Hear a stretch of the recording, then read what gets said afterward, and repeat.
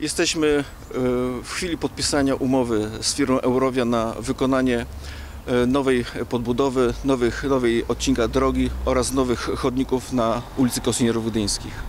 Jest to bardzo ważna inwestycja dla miasta i dla mieszkańców. Wszyscy widzimy w jakim jest stanie ulicy Kosynierów Gdyńskich, a spółka, która przejęła to zadanie będzie starała się zrealizować ją w jak, najlepszym, e, jak najlepszej jakości.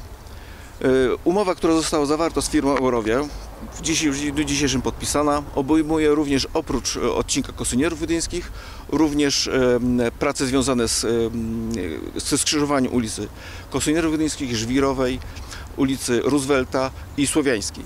Dodatkowo będzie również e, przebudowane skrzyżowanie między ulicą Słowiańską a ulicą Fredry. Tam powstanie skrzyżowanie typu rondo. E, Dodatkowo między przebudowanymi skrzyżowaniami oraz dokładki e, nad ulicą Słowiańską będzie wymieniona nawierzchnia. E, W ramach jeszcze kontraktu będziemy również wymieniać nawierzchnię na łączniku za PWiK między ulicą Kosynierów Gdyńskich a ulicą Słowiańską.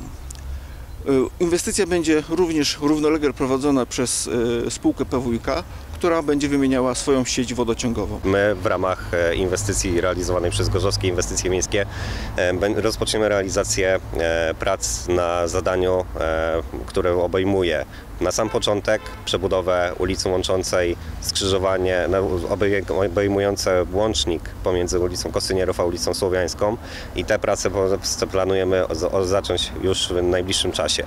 Następnie planujemy rozpoczęcie prac na budowie ronda na skrzyżowaniu ulic e, Słowiańskiej oraz Fredry. Na pewno w trakcie budowy ronda pod e, Słowianką, czyli na skrzyżowaniu ulicy Słowiańskiej i Fredry, pewnym, przez pewien okres czasu nie jesteśmy w stanie w chwili obecnej określić tych ram czasowych, będzie zamknięta ulica Fredry. Ze względu na budowę nowego ronda nie jest to niemożliwe, żeby utrzymać przejezdność na ulicy Fredry, ale będzie możliwość przejazdu przez cały czas ulicą Słowiańską, tak jakby właśnie od PWiK w stronę tam marketów budowlanych. Planujemy to jeszcze przed świętami. Na skrzyżowaniu ulic Słowiańskiej, Roosevelta, e, Żwirowej i Kosynierów Gdyńskich planujemy rozpocząć roboty od połowy skrzyżowania i będzie utrudniony dojazd od e, Chwalęcic albo od cmentarza. E, Będzie on musiał się odbywać za pomocą najprawdopodobniej ulicy Błotnej, ponieważ będziemy musieli wyłączyć połowę skrzyżowania z ruchu.